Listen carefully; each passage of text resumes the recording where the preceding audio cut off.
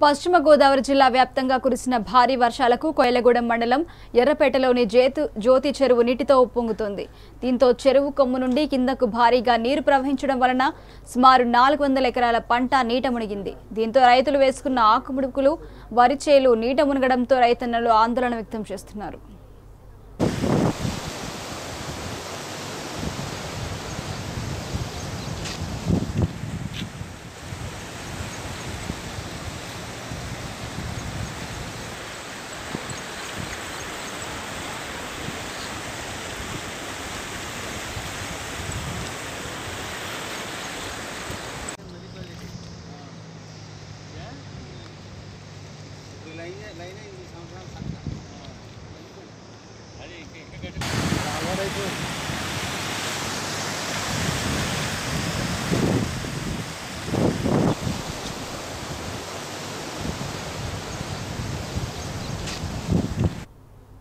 If you like this video, please like it, share it, and for more videos, please subscribe to our channel.